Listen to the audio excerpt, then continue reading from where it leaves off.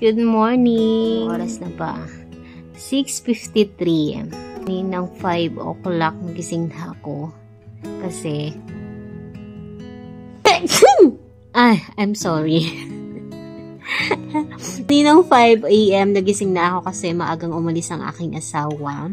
Paano ko ba guys sinisimula ng aking araw kapag mag-isa ako dito sa bahay? Kasi Monday to Saturday, mag-isa lang ako dito kapag ganitong maghapon. Today is Monday! Another week! Another day! So, samahan nyo ako ngayon guys sa aking A Week in My Life as a work from home. So, tara guys!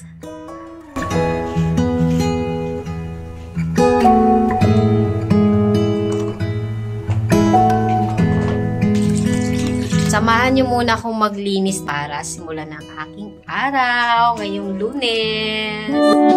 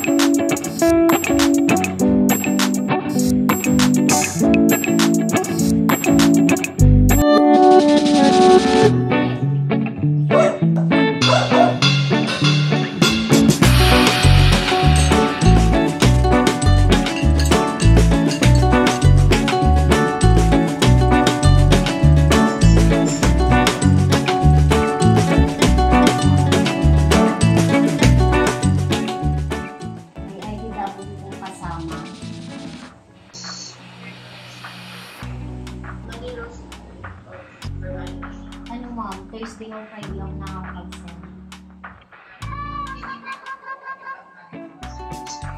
Santa Cruz Matalaba po.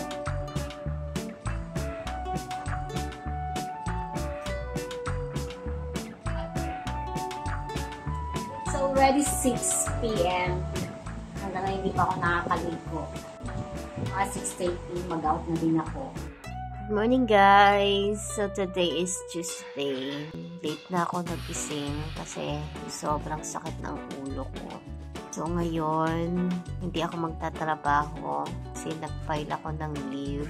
Nakaschedule kasi ako for check-up. So samahan niyo ako ngayon guys sa araw na ito.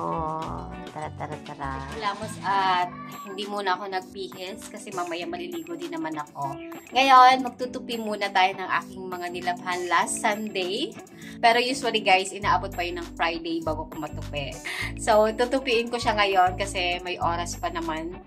And mamayang 10.30 pa ako aalis. Once a week ako guys naglalaba. Dati manual yung gamit ko. Pumili ako ng washing last year. Kaya medyo na minus ang aking oras, ang aking pagod sa paglalaba. Kasi pagkagising ko ng Sunday, ayun, pindot-pindot lang.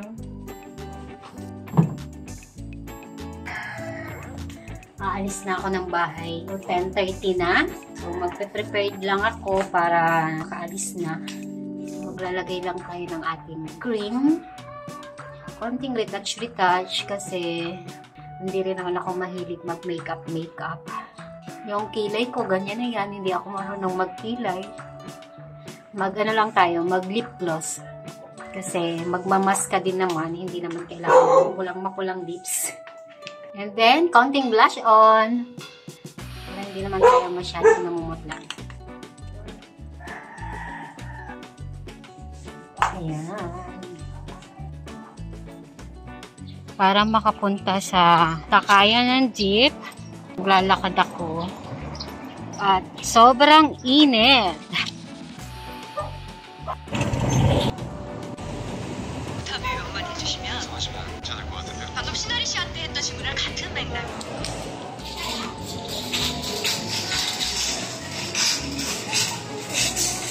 Ayan guys, nandito na ako sa bahay. Kain tayo ng waffle. Habang nagpapahinga tayo, check natin yung mga pinamili. Nakaraang bumili ako ng gamot sa Mercury. Kusing lang ng serial number 10mg.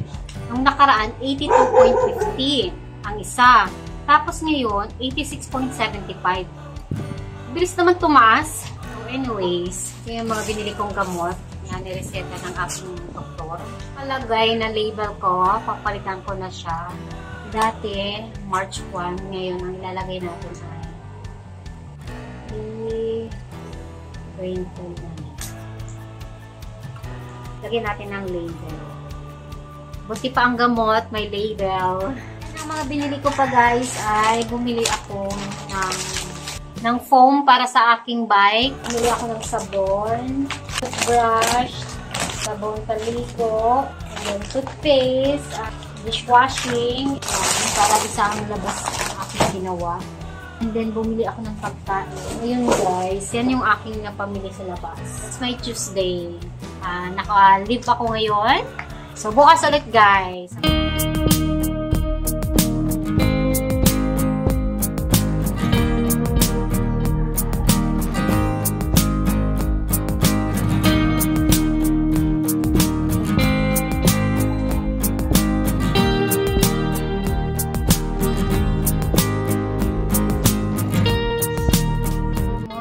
Guys! Good morning everyone! Sana naman ako dito sa loob ng bahay ngayong Wednesday.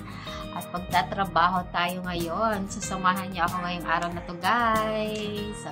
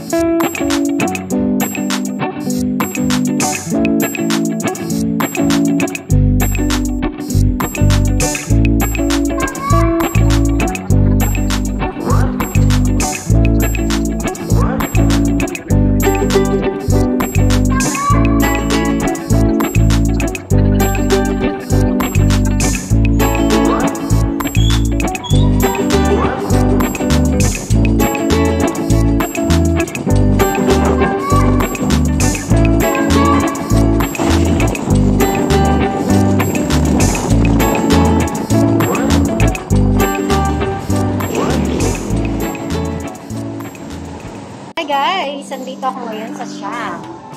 Magmimit kami ni Kay. ah. Say hi